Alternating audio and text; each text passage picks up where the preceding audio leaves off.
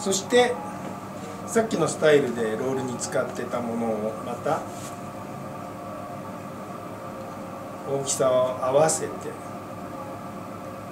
使います。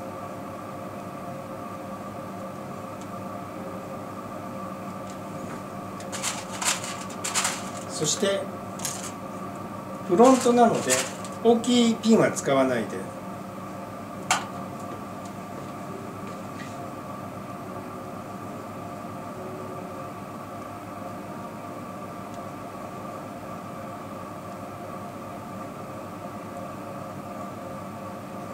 そして一度中に深く入れてから。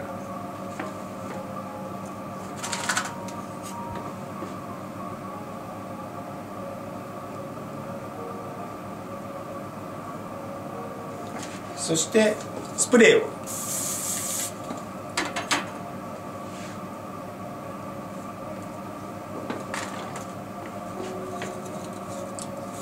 そして I 字ブラシの PP451 で丸みを出すために横倒しにします。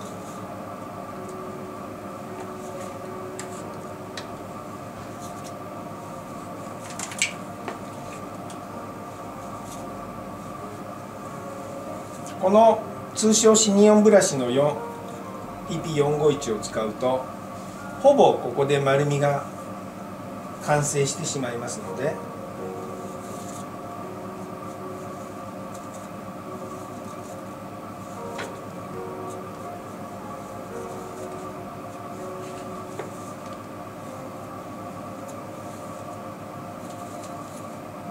こちらに引いてその後 PP801 のファイナルコームで線を作ってあとはラインを引いてきたところにテールから押し込んで左手でフォローしながら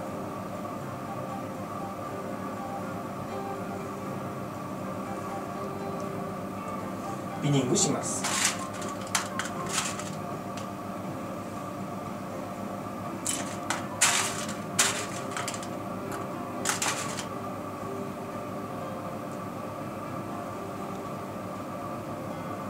このビニングするときに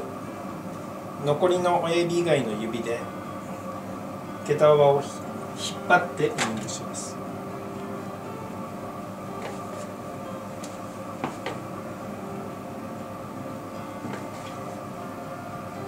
そしてフロントにロールができたので少し毛束を分け取って少し遊びで入れる毛束をここに分け取ります。そしてバックはすき毛を使わずこの残りの毛をすき毛のように中に